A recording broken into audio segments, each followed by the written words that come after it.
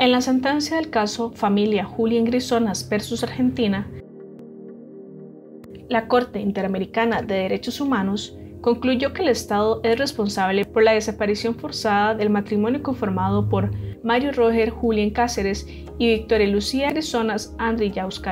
por lo que declaró la violación de sus derechos al reconocimiento de la personalidad jurídica, a la vida, a la integridad personal y a la libertad personal. La Corte determinó que los hechos ocurrieron en el contexto del gobierno militar instaurado en Argentina entre los años 1976 1983, periodo en el que se implementó y ejecutó un plan sistemático y generalizado de violaciones de derechos humanos. El tribunal estableció también que las diversas actividades de represión desarrolladas durante el periodo del gobierno militar en Argentina incluyeron la práctica sistemática y generalizada de sustracción, retención y ocultamiento de niñas y niños, con posterioridad a la desaparición o ejecución de sus padres y madres. Asimismo, se determinó que los hechos se dieron en el marco de la Operación Cóndor. La Corte también estableció que Argentina violó los derechos a las garantías judiciales y a la protección judicial en perjuicio de Anatol y Victoria, hijo e hija biológicos del matrimonio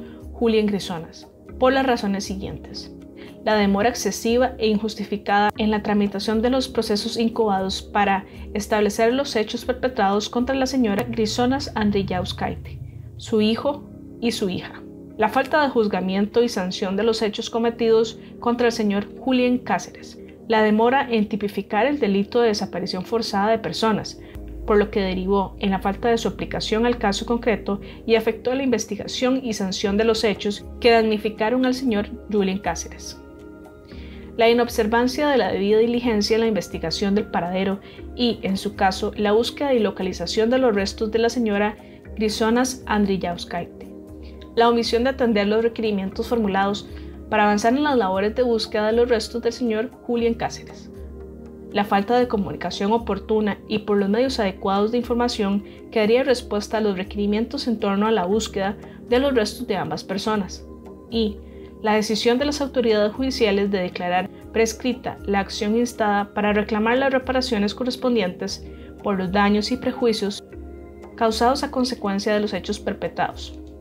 La Corte también declaró la violación del derecho de Anatoly Victoria a conocer la verdad acerca del paradero y destino de los restos de su padre y madre biológicos. De igual forma, el tribunal determinó la violación del derecho a la integridad personal de Anatol y Victoria como consecuencia de los hechos perpetrados contra su familia. En razón de estas violaciones, la Corte ordenó diversas medidas de reparación al Estado argentino, incluidas las siguientes resolver en un plazo razonable la causa incuada para, para esclarecer los hechos perpetrados contra el señor Julián Cáceres,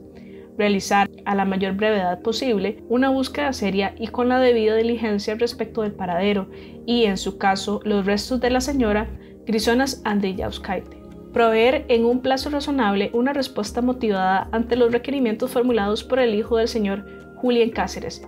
para proseguir en la búsqueda de sus restos realizar un acto público de reconocimiento de responsabilidad internacional en relación con los hechos del caso, publicar el resumen oficial de la sentencia en el diario oficial y la integridad de la sentencia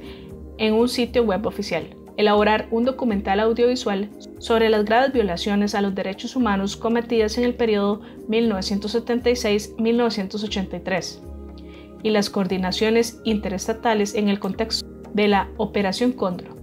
incluidos los hechos del caso y las violaciones declaradas en la sentencia. Realizar las gestiones pertinentes para convocar a los otros estados que habrían tenido intervención en la ejecución de los hechos del caso y en el contexto de la Operación Cóndor,